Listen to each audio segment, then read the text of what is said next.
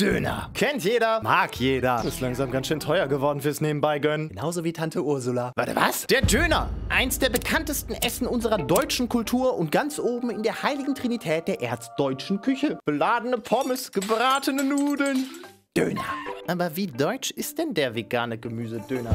Wahrheit wirklich. Und wer denkt, alles ist Kebab, was Döner, der hat sich schon vor die Chef im Geschäft mächtig geschnitten. Wo kommt der Döner wirklich her? Wie viel wiegt der durchschnittliche Döner bei seiner Geburt? Warum gibt es eine offizielle Dönerföderation, die uns vor der EU die Markenrechte streitig machen will? Und was sind eigentlich die einzig wahren Zutaten, die auf einen echten Döner drauf dürfen? Und natürlich, wie heißt bei dir eigentlich ein scharfer Döner? Ich wusste gar nicht, dass sich das verhält wie beim Berliner Krapfenpfannkuchen. Das ist überall anders. Türkisch scharf, Indianer scharf bei uns am Südkreuz. Extra scharfe Soße, Döner mit roter Zeug, alles außer Knoblauch? Schreib's mir in die Kommentare, drück auf die Glocke, damit du weißt, wann dein Döner fertig ist und abonnier doch gleich noch. Bei jedem fünften geguckten Video gibt's einen Stempel und bei fünf Stempeln gibt's einen gratis Döner.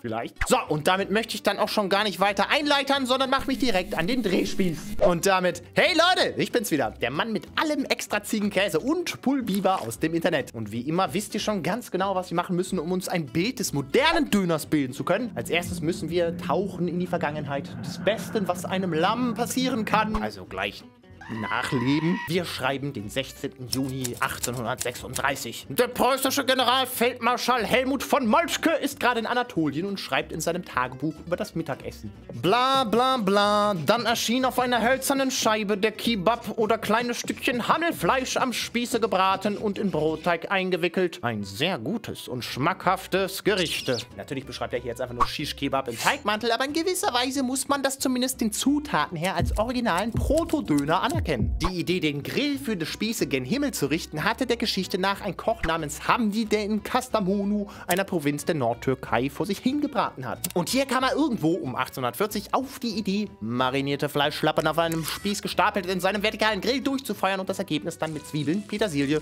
und anderen Beilagen auf dem Teller zu servieren.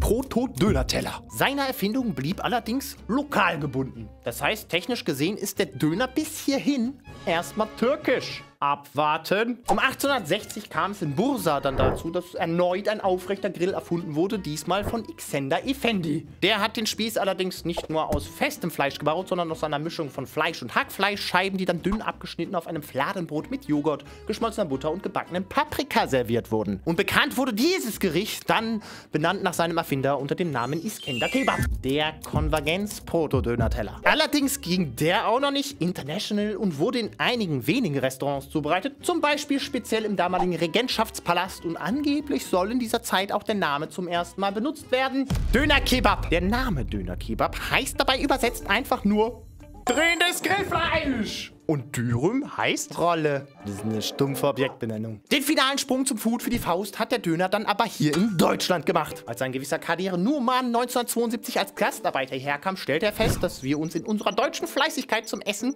nicht mal mehr hinsetzen. Und so ward die Idee zum tragbaren schöner Döner geboren. Noch typisch deutscher Kram wie Kraut, Kohl und wässrige Tomaten rein, et voilà der moderne Döner. Und so wurde aus dem damals Gyros oder Shawarma-ähnlichen Teller die heutige mobile Brottasche oder Rolle, ne, wenn ihr eine saubere Hose lieb ist. Kann man damit den Döner also wirklich als Berliner Erfindung bezeichnen? Das ist dem Stolz überlassen. Also ja! Kadi ist übrigens im Oktober 2013 hier in Berlin von uns gegangen. Wir halten dich in Ehren, Döner Papa. Keiner war Deutscher. Kommt schon. Deutschland muss auch irgendwas Gutes kriegen. Aber wenn heute alles Friede, Hose, scharfe Soße wäre, dann würde das Video ja nicht Döner, was ist falsch mit dir heißen. Denn seit der Konzeption des glutenhaltigen Lammquartals hat sich so einiges verändert. Döner, Döner, Sandwich, Döner, Teller, Dönerbox, Pommes, Döner, Döner, Pizza, Gemüse, Döner, fucking Föhner. Und das Überall. In ganz Deutschland. Ich meine, in Finsterwalde, da gibt es nicht viel, aber mindestens drei Dönerbuden. Döner ist also nicht nur Teil des deutschen Dudens, sondern auch Teil der deutschen DNA. Wir sind so sehr mit dem Döner verankert, dass im Internet ernsthaft gefragt wird, ob Gyros auch Döner ist. Hier sehen Sie ein faszinierendes Naturschauspiel. Ein Holy Probier Adventskalender in seiner natürlichen Umgebung. Ein seltenes Schauspiel, denn seine Art ist bedroht. Ja, richtig gehört schon. 80% der besten Adventskalender für alle, die auf guten Geschmack stehen, sind weg. Gone. Ausverkauft. Du brauchst noch ein Geschenk für deinen besten Freund, deine Liebsten oder einfach ganz gesund, egoistisch für dich. Dann lass dir von den fleißigen Holy Elfen helfen und gönn dir den Probier Adventskalender. Was da drin ist? Natürlich nur das Beste, was das heilige Sortiment zu bieten hat. Keine Enttäuschung keine Slap-Armbänder oder billiges Plastik, sondern nur das Beste für dich und dein Christmas Countdown. Im Probier-Adventskalender findest du nämlich 24 Portionen Energy, Ice Tea und Hydration und eine schicke Glasflasche gibt's auch noch dazu. Und wenn du bis zum 3.11. bestellst, sicherst du dir außerdem den Early Bird Preis. Als Neukunde sparst du mit meinem Code Malternativ 5 zusätzlich 5 Euro und wenn du schon mal bei Holy am Start warst, gibt's satte 10% mit dem Code Malternativ. Ich würde den benutzen. Also lass dich ins nächste Level boosten und klick, solange der Vorrat reicht, auf den ersten Link in der Videobeschreibung. Scan diesen QR-Code und wenn dir das alle zu weihnachtlich ist, dann gönn dir doch einfach sowas von Holy. Wie wär's zum Beispiel mit dem spritzig-fruchtigen Raspberry Raptor? Der geht immer. Und wenn du immer noch nicht überzeugt bist, Holy haben so große Eier, dass sie einem Adventskalender-Unboxing auf hohe Puls zugestimmt haben. Das heißt, ich werde den ganzen Adventskalender für dich unter die Lupe nehmen. Aber das ist ja noch längst nicht das Schlimmste. Und ich rede hier nicht davon, dass am Traditionsgericht Döner nicht mehr wirklich irgendwas traditionell ist, sondern von den wirklich schlimmen Sachen. Was glaubst du zum Beispiel, hat so ein OG-Döner aus Kadies Händen damals gekostet? Hm? 2 D-Mark und 50 Pfennig. Der war mal genauso teuer wie deine Mutter. Entschuldigung. Was hat der 10 Jahre später gekostet? Richtig, 2 D-Mark und 50 Pfennig. Irgendwann ging er dann hoch auf 3 D-Mark. Okay. Dann kam der Euro und aus 3 D-Mark wurden 2,50 Euro. Das wären 5 D-Mark. Ja, Opa, ist okay. Und bis 2008 kann man sehen, dass der Döner sich in Deutschland stabil zwischen 1 bis 3 Euro gehalten hat. Und heute ein Döner für 8 bis 10 Euro. Deutschland ist gefallen. Ja, wenn wir zwischen Kriegen und einem brennenden Planeten nicht schon genug Probleme hätten, wir leben in einer Dönerpreis-Inflationsphase. Nach Daten der guten alten Google-Reviews zeigt sich, dass die Dönerpreise zwischen 2016 und heute um fucking 75% gestiegen sind. Ich wollte einen Döner und nicht den ganzen Laden kaufen.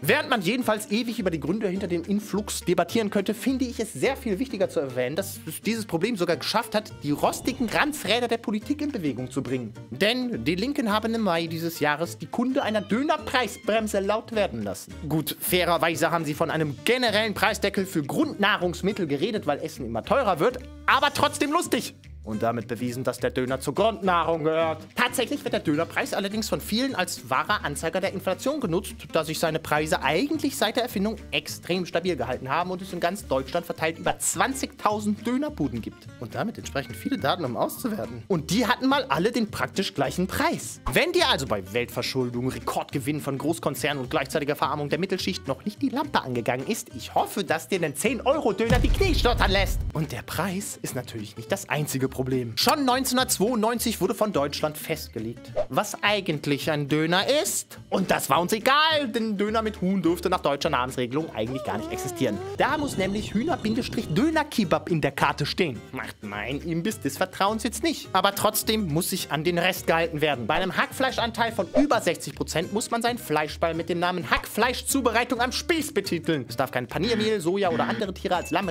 Huhn oder Pude drin sein, kein extra Trinkwasser und kein Separatorenfleisch. Mein Liebling aus der Verkaufsauffassung bzw. dem Abschnitt über die Kenntlichmachung der Unterschiede zwischen Dönerkebab und anliegenden Erzeugnissen. Wenn du gegen so ziemlich alle dieser Grundregeln eines echten Döners verstößt, dann musst du deinen Spieß als Hackfleisch-Drehspieß vom Rind mit Paniermehl und zum Teil fein zerkleinertem Fleischanteil auf die Speisekarte bringen. das soll so auf der Karte stehen. Hackfleisch-Drehspieß vom Rind mit Paniermehl und zum Teil zerkleinertem Fleischanteil. Teller.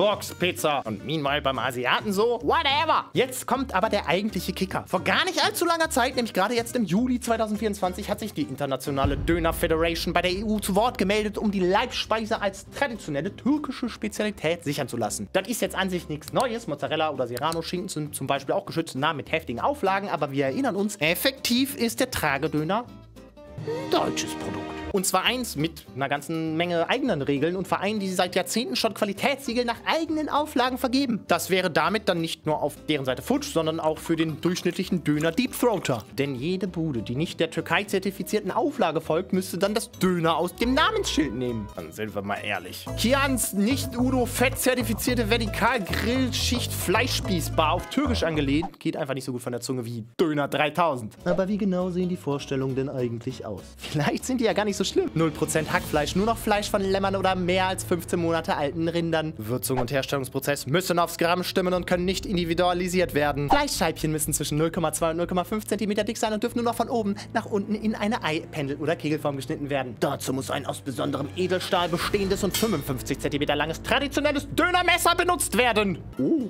das sind da so Döner-Nazis. Ja, sollte diese Regelung durchkommen, müssten wahrscheinlich nicht wenige Dönerbuden ihre Pforten schließen und der Rest wäre dann wirklich echt zertifiziert gleich. Same, same, but same, same. Kein Gemüsedöner, keine speziellen Soßen, alles nur noch. Same, same. Glücklicherweise gibt es dabei aber mächtig Gegenwind und auch wenn wir erst in spätestens vier Monaten Bescheid wissen, steht nicht nur ein Großteil der Döner-Enjoyer da draußen dagegen, sondern auch der Verein türkischer Dönerhersteller in Europa. Und wenn ich dir sage, das sind viele, dann meine ich das auch. Ebenfalls nicht so gut in die Karten spielen tut es denen, dass ihr Vereinsgründer Teil einer als extrem nationalistisch eingestuften Partei ist. Das sind wirklich Döner-Nazis! Ja, heute haben wir keine Was ist falsch mit dir rechte Vergangenheit, sondern eine rechte Gegenwart. Man muss sich auch mal abwechseln. Also, Daumen drücken für die Dönerautonomie und abwarten. Allerdings müssen wir nicht im Schweigen warten, denn unsere Dönerprobleme sind ja noch gar nicht fertig. Gibt es denn jetzt momentan wirklich die Unterschiede zwischen Dönerbuden? Egal, wen du fragst. Ja. Jeder hat irgendeinen extra geheimen Döner-Container, der nach eigener Aussage insgeheim ein 12-Sterne-Restaurant aufmachen sollte. Und noch eine Sache haben wir beim Döner, die normalerweise kein Deutscher hat. Eine Meinung, für die wir auch kämpfen. Beim ersten Essen eines neuen Döners muss ja jeder Budenbesitzer hoffen, dass er eine talentierte Ratte unterm Hut hat, sonst war es das mit der Reputation. Denn was ist die Gesprächseröffnung nach jedem mit Kumpels abgeholt und gerade angefangenen Döners? Ja, kann man essen. Nee, mag ich nicht so. Passend dazu, alles rein, extra Käse, scharfe Soße und Pulbiber ist die einzig korrekte Wahl. Fight me. Aber wo wir uns über die Säuerungsgrade von Tomaten und die Schichtdicke von Rotkrautstreifen streiten, sollten wir erstmal unsere Rangelei beiseite legen, um dem wahren Feind gegenüberzutreten. Eine Sache, die Deutschland nämlich auch sehr gut kann, ist es, sich ein Gericht zu nehmen und die jeweils menschenunwürdigsten Zutaten ins Rezept zu schreiben, die man sich nur vorstellen könnte. Zum Beispiel der Leberkäsedöner. Der Leberkäsedöner kommt in seinem Fall natürlich mal wieder aus genau dem Loch, aus dem man es erwartet. Bayern. Genauer gesagt, Tischenreuth, denn da hatte sich ein gewisser Marco Kackmack November 2023 gedacht, hm, bayerischer Döner. Und so hat er dann begonnen, den Bayer-Döner zu entwickeln und das nicht nur mit Leberkäse, sondern auch noch Weißkraut und sauren Gurken. Würde ich eigentlich mal so probieren, klingt auch geil. Und da hat sogar richtig Arbeit drin gesteckt. Zusammen mit seinem Fleischer muss er nämlich erstmal eine ganz eigene Fleisch-Käse-Rezeptur ins Leben rufen, bei der der Leberobelisk nicht einfach von der Stange schmilzt. Weniger Arbeit und entsprechend auch öfter vertreten ist dagegen dann aber wohl der Döner Hawaii. Und äh, muss ich überhaupt sagen, wie der ausschaut oder kann man sich das denken? Ja, dieser Döner zeichnet sich dadurch aus, dass er mit Sünde gefüllt ist. Und wieso haben eigentlich alle Dönerbuden dieselben Stockfotos? Alle tun so, als wären sie anders, aber am Ende legen sie nur analog und digital eine Ananas-PNG drauf. Und ich verstehe ja Ananas auf Pizza, ich bin ganz ehrlich, ist es lecker. Aber das Letzte, woran ich bei einem Döner denke, ist ein Obstkorb. Warum müssen wir jedes Gericht von einem amerikanischen Inselstaat claimen lassen? Ich glaube, Hawaii selbst würde da nicht mit ihrem Namen in Verbindung gebracht werden wollen. Aber schlimmer geht immer. Wie wäre es zum Beispiel mit Grünkohldöner aus Oldenburg? Ja, richtig gehört. In den Wintermonaten kann man bei Alais Kartoffeldöner seine Liebeserklärung an die deutsche Bevölkerung bestellen und bekommt dafür dann einen Döner mit extra, extra grün. Und ja, der Bratwurst ist natürlich auch reingestückelt. Deutsch! Und wo es jetzt echt schlimm klingt, hat das wohl auch gute Abnehmer, denn die Leute mögen es. Was dafür aber wirklich niemand mochte, ist, als eine Dönerbude in Wolfenbüttel den Döner revolutioniert hat, indem sie das Brot weggelassen haben und sich stattdessen eine Eiswaffel unterm Schichtfleisch positioniert haben. Ein Döner in einer Waffel. Beziehungsweise zwei Waffeln, denn man kann sich auch eine Knoblauchwaffel bestellen, als ob die Menge an genutzten Maulstunk das Problem an der Idee wäre. Der aber wohl aller unheiligste Namensmissbrauch geht wohl an Chios Kebab aus Wien. Wo die Waffel ja zumindest noch dünn ist und neutral im Geschmack, hat sich Chio gedacht, Döner, aber ich mache zwei Länder gleichzeitig sauer. Denn was gibt es hier? Richtig, Döner im Croissant. Döner? Im Croissant. Vielleicht brauchen wir doch strengere Regeln für den Namen. Was dagegen aber immer noch traditionell mit den besten Zutaten und erntefrischer Liebe für dich zubereitet wird, sind unsere Videos extra scharf. Verstehst du? Die sind extra scharf. Mäh.